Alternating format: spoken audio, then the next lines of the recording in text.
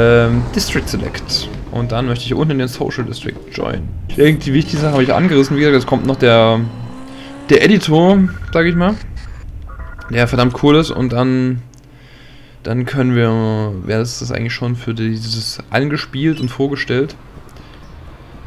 Wie gesagt, der Charakter ist eigentlich bloß, falls ein Kumpel auf dem Server spielt und nicht auf dem anderen. Ansonsten wird der Charakter einfach stillgelegt wieder. Und daher könnt ihr auch gerne versuchen, jetzt zu adden. So, hier oben bei diesen Automaten, das ist die grünen Automaten hier, das ist der Kaufautomat. Da kann man Sachen versteigern und ersteigern. Das hier ist für Klamotten ändern. Das hier ist für den Designer an sich, da kann man Logos und sowas erstellen, die man dann auf die Klamotten packen kann. Die kann man aber auch aus den anderen Automaten machen. Ähm, das bringst du aber nochmal Klamotten. Ja, die lila Automaten alles Klamotten. Und hier unten gibt es dann noch was. Da kann man seinen Körper verändern. Hier so Schönheitschirurgie und so. Kosten aber was. Im Vergleich zum ersten, zum Anfang. Und Autos, Autos kann man auch bemalen. Fangen wir mal damit vielleicht an. Das ist hier drin in diesem großen Dome. So, an diesen roten Pulten. Und lädt, und lädt, und lädt, und lädt, und lädt, und lädt, und lädt, und lädt. So, jetzt kann ich, habe ich jedes Auto. Ich kann auf Add New gehen, auch bei den anderen dann. Wenn ich ein neues haben will. Da sehe ich hier die freigeschalteten. Ähm, die mit Joker-Tickets, das sind so, so schon vordesignte, die kann ich glaube ich gar nicht dann die umdesignen. Ähm, hier der zum Beispiel, bei den anderen sieht man es halt nicht. Ähm, der hier ist zum Beispiel einer, den ich freigeschaltet habe, den kann ich für 5000 Dollar einfach nur kaufen. Die haben meistens irgendwelche, irgendwelche, ja, hier so, so ein Design drin oder sowas. Ähm, ihr müsst aber aufpassen, wenn hier steht expires in 7 days, dann würdet, ich, würdet ihr also solltet ihr euch das vielleicht nicht holen. Also wie gesagt, ja wirklich nur sieben Tage hält. Außer ihr wollt es die nächsten sieben Tage ultra intensiv spielen und das reicht euch. Dafür kosten die aber halt, hier, der kostet halt nur 1500 Joker Credits, wo der halt 10.000 kostet, der dauerhafte. Naja, ähm, Add New kann ich eh nicht machen, deswegen Back to Vehicles. So, und dann könnt ihr hier unten da anklicken und auf Customize gehen. Dann habe ich jetzt zum Beispiel, oh, ich habe neue, neues, genau, da, neue Reifen. So, Farbe. Ähm, Full Body White. Ist wirklich alles. Ach, das war das Bumper. Uff. Ach, ich finde, das macht keinen Sinn, weil ähm, dummerweise bleiben da immer noch Sachen schwarz. Ach ne, hier, genau, muss ich 20 von 7. Also, wenn ihr ein Premium nehmt, könnt ihr mehr drauf pappen. Dann könnt ihr auch sowas machen. Ich mache jetzt einfach alles runter. Klack, klack, klack, klack, klack, klack, klack, klack, klack, klack, klack, klack. So, das ist auch komplett weiß. So, und hier kann ich noch meinen The Line. So, da kann ich so eigentlich noch durchwechseln. Genau, hier. Hier wir das da. Save. Nein, ich wollte noch weiter customisieren. So, wenn ich jetzt hier, kann ich jetzt auf Designer gehen und ein neues Symbol anfangen. So, was habe ich denn hier schon so? Ähm, ja, also ganz einfach, von, von vorne habe ich hier. Ja. Und Schussdaten. Schade. Ja, ne, ähm, dann auf jeden Fall mal in T. Was ist denn das kann ich oben so, ich mach's, mach's einen Schnellverlauf. Achso, ein Post ist alt, da kann das macht, dann einmal alt ziehen, dann macht das wieder. So, jetzt hat er hier, wenn ihr H drückt, dass ihr drauf zieht, zack, mit aus dem H. Zack. Zack. Halt, ich hier. Zack. Das sieht nicht aus, das ist eine falsche Größe. So, jetzt ist irgendwie falsch angeordnet. Das muss länger zusammen. Das muss eh Stück weg. So. So, ist gleich habe ich hier. Das muss noch ein Stück weg. So, das haben wir noch ein Stück weg. So, habe ich schon den Text. Jetzt kann ich das Ganze mal so. An Stück hier erstmal alles markieren. Duplicate und jetzt mal die Outline. Weg. So.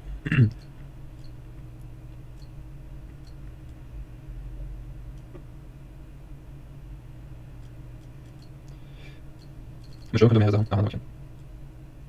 So, jetzt ist lustig. Je suis. crise des bruits.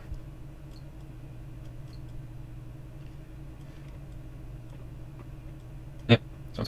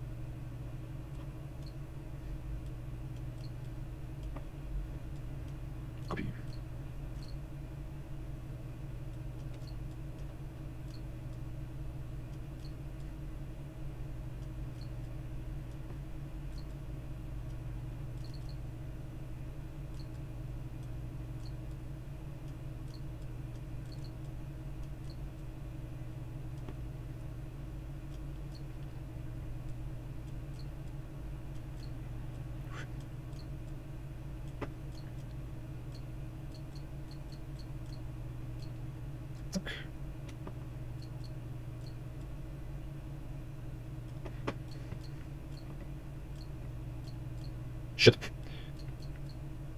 Das funktioniert nicht. Das funktioniert nicht, das nicht diesmal. Blöd. Blöd. Blöd. Blöd. Ähm, kann ich left? Kann ich right. Ganz kleiner. Ein bisschen nach links. So. Also, ich sehe schon, es geht ein bisschen in die Richtung, die ich wollte. Mäh, auch nicht ganz so, wie ich wollte.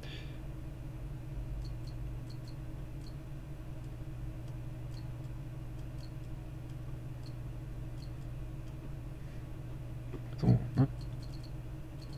So, zack. Doch ja so.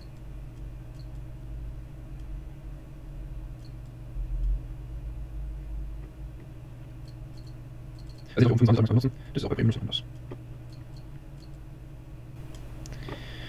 So, sieht doch gar nicht so schlecht aus. Also ungefähr so hatte ich mir das vorgestellt. Eigentlich wollte ich noch Outline hinmachen. Ähm, ja. Wir können jetzt theoretisch hier noch Duplicate. Da komme ich leider drüber. Aber ich könnte theoretisch noch, das zum Beispiel auf Rot stelle, kann ich noch sowas drauf machen. Also wie gesagt, ist ganz cool, wenn man das so anstellen kann. Für einen Quatsch. Scratches. Gradient Vertical. Hätte ich auch blau machen. Gradient Horizontal. Da habe ich dann sowas. Also generell finde ich es cool. Ah, okay.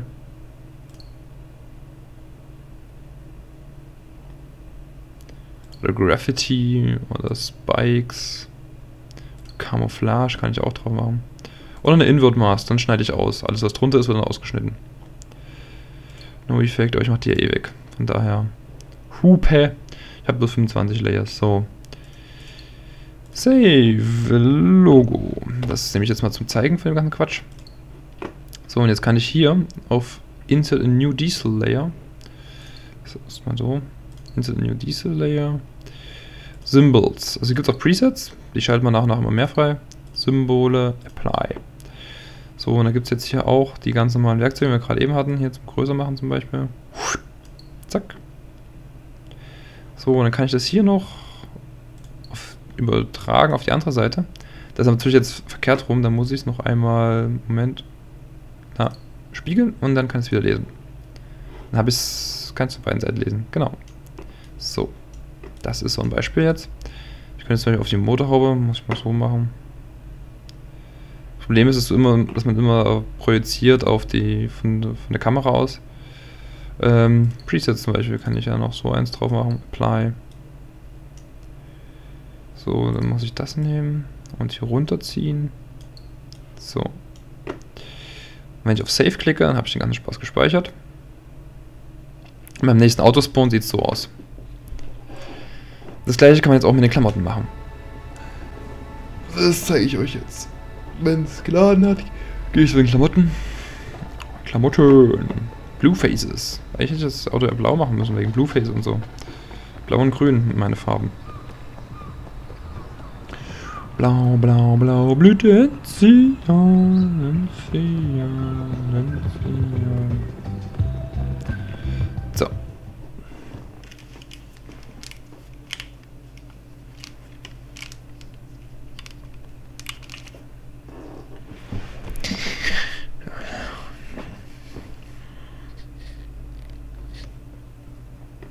So. Oh, ich habe sogar noch Jeans. Ziehe ich doch direkt mal an. Auf jeden Fall besser als diese blöden Dinger und Ringer-T-Shirt. Ja, man kann die hier übrigens übereinander anziehen. Also ich sehe hier gerade die Boy-Shorts und so. Ähm, nur wenn es auf den gleichen Slot geht, dann geht es nicht so. Unter Add New Item, was ich da schon habe. Flat Buckle Belts. Oder hier kann ich sowas, was dann meine komplette Haare wechseln. Macht ziehen. Leggings. Na, ich weiß nicht, das finde ich, find ich bitte dumm. Longsleeved, Simple Belt, Skinny Jeans. Die haben einen anderen Charakter, die sind eigentlich ganz cool. Äh, T-Shirt Bra. Was das man bringt, Sneakers. Die habe ich schon. Also ihr seht immer schon, was ihr schon habt oder was ihr gerade anhabt, hat er gesagt. Skinny Jeans. 450 kostet die, ist mir noch gar nicht aufgefallen, dass die so teuer ist.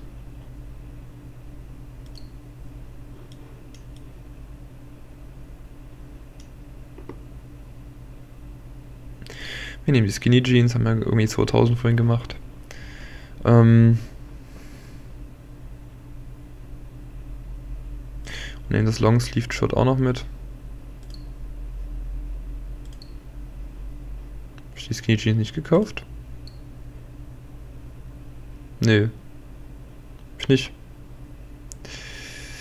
Add New Item, ich wollte die doch kaufen.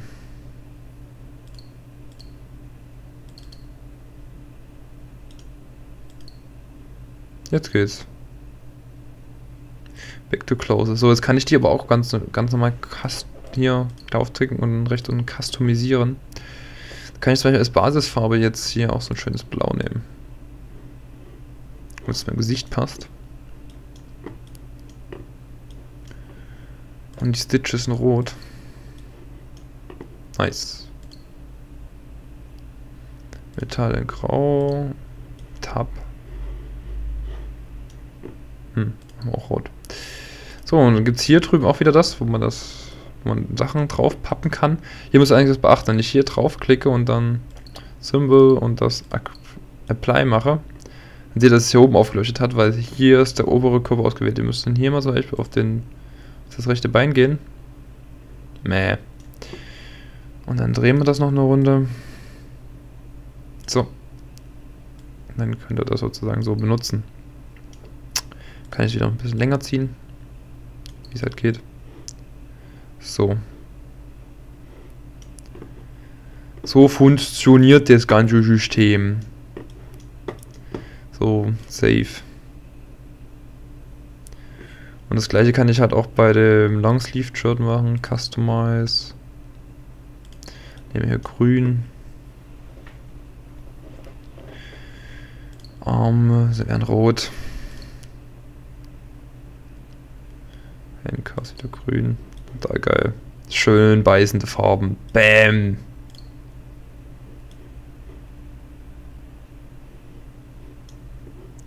So, und die Helms. Wir weiß. Oder schwarz. Oder nochmal rot. Nochmal rot. So.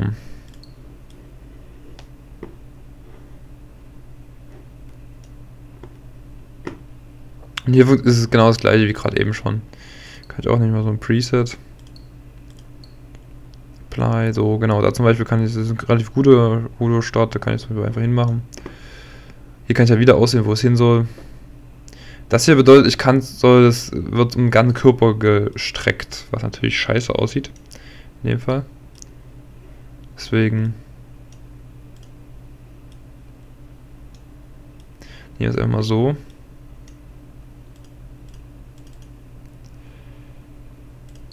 Kann es hier immer noch aus der Perspektive, wo ich gerade drauf gucke, machen. So. Und hinten machen wir noch mein Logo drauf. Symbol, Apply. Das können wir auch hier wieder drehen. Ganz normal. Nach oben. Und groß.